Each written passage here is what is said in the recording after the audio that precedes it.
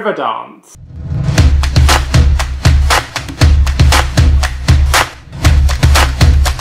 Hello everyone, and welcome back to my channel, I hope you're all well. In this video we are going to be reviewing Riverdance, which is actually a pretty deep and enjoyable animation adventure movie that has some pretty shocking, heartbreaking and heartwarming moments in there. Now to be honest, I was a little bit apprehensive before watching this movie as I didn't know what to expect, but actually I was really pleasantly surprised and thought it was actually pretty awesome. I mean, it has everything that you would want an animation movie adventure to have in terms of having incredible animation, some awesome character transformations, loads of lessons learned, and some powerful moments in there as well. So actually, it's got quite a lot to offer, and I cannot wait to break it down for you in this movie review.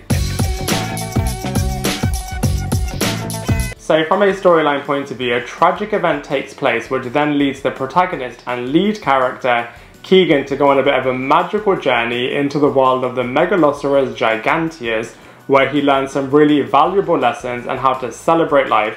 Now this movie is based on the popular stage show, except this time it's being reimagined into an amazing animation adventure movie. Now from a positive point of view, like I said before, I wasn't sure what to expect from this movie, but actually it really does pack a punch and really does shock you. And at the same time, it's actually really, really funny as well. It also has the brilliant magical moments in there in terms of taking you onto this fantasy journey with the characters and actually not only do they go on a really magical journey in this film but actually they really transform from where they are in the beginning of the film to where they are at the end of the film which is really really cool and like I said before as well there are loads of lessons that the different characters learn and actually speaking of which there are some brilliant voice actors in this film as well. So lots of positives in this movie. However, from a negative point of view, you can see that certain moments are a little bit childish and they don't actually show on screen some of the more gruesome scenes.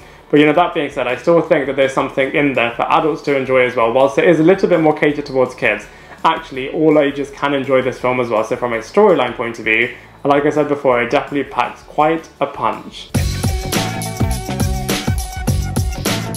So from a cast and characters point of view, when you look at the surface of this movie, you might think it's just a bit of a musical movie, but actually, it really does have deep character transformations and brilliant voice actors in this film as well. So let's go through them one by one. So first up we have lead character Keegan, who is voiced by Sam Hardy. And it's really interesting from this character's point of view, as in the beginning, he's a little bit of a happy-go-lucky child, and then suddenly has a lot of grief that he has to go through and whilst he's dealing with this grief, he has to lead a certain situation whilst having a lot of burden placed on his shoulders. So actually this character has a lot to deal with and they communicate it really well, not only from this character's journey point of view, but also through the magical fantasy elements in this film as well. We then have the main villain in this film who is the Huntsman, voiced by Brendan Gleeson. And he's a bit of a legendary villain, so you don't know whether or not he exists or whether or not he doesn't exist because all you've heard about him from is through the fable. So the Keegan character is a little bit unsure in the beginning, but then when this character does make his presence known, he actually does some pretty shocking things and is actually really manipulative as well. So from a villain's point of view, this character actually does quite a lot and is only able to be shown if the lighthouse is switched off, which I think is a really interesting concept. Next up, we have the big voice actor in this film, who is played by Pierce Brosnan and he actually voices two of the characters, so the granddad and the leader of the Megalosaurus Giganteus, and actually two of the big moments that happen in this film are obviously happening from the Pierce Brosnan character's point of view. And then finally we have the Moya character who is the friend of Keegan and is also the Sage of Wisdom to him as well as she is the one that guides him to this magical world in the first place and is definitely his partner in crime as well. There are also some other really hilarious Irish characters in this movie as well but overall from a casting character point of view is actually pretty awesome. So from a visuals point of view, you can definitely tell that this is a modern day animation movie as the animation style honestly looks absolutely incredible. You can definitely tell that they've spent a lot of money to make the animation look really, really cool. And actually it's a really, really charming movie and the visuals definitely do come alive.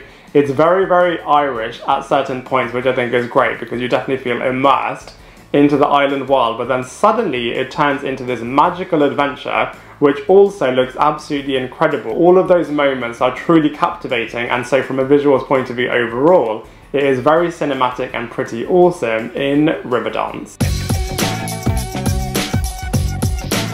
So from a comparison point of view, it definitely feels like it's got two attributes. So it's got the musical aspect from the Disney catalogue, but it's also got the heart-wrenching moments from the Pixar catalogue, which makes this movie really, really cool, and as such, I feel you can definitely compare it to The Lion King, Raya the Last Dragon, of course Madagascar, Dragon Rider, and Soul as well. And so from a comparison point of view, I think this movie is definitely in really great company and is also a really great new animation addition in this awesome genre.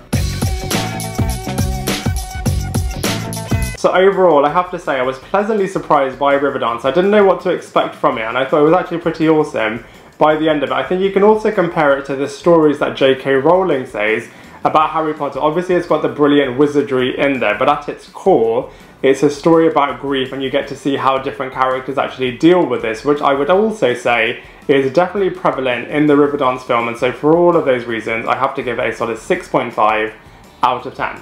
I'd love to hear what you think, so please let me know in the comments section below. Otherwise, I look forward to seeing you in my next video.